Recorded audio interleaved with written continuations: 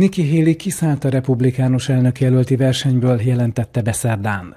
Már gratulált riválisának Donald Trumpnak, mivel a szuperkedden 15 államban egyszerre tartott republikánus előválasztásból 14-et Trump korábbi elnök nyert.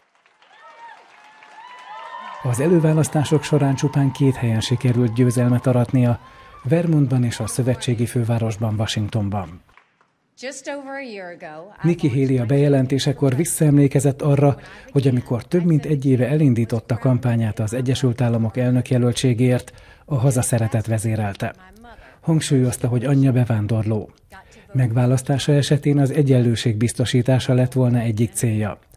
Beszélt arról is, hogy hálával tölti el az a támogatás, amit az ország minden részéből kapott.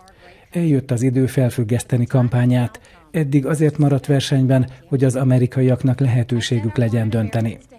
Bár a jelölésért nem versenyez tovább, politikusként továbbra is kiáll mindamellett, amiben hisz, tette hozzá.